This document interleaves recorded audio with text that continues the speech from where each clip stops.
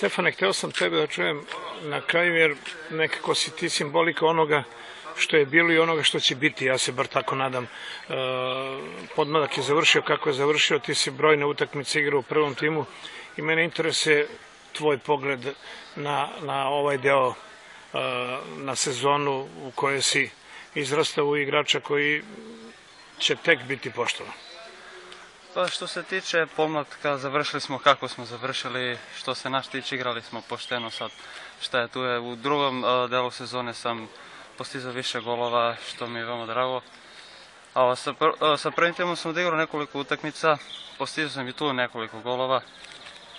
I nadam se da ću tako i da nastavim sledeće sezone. Jesi zadovoljan svojom karijerom? Koliko daješ sebe? Kako su tvoje razmišljanja, tvoji ciljevi?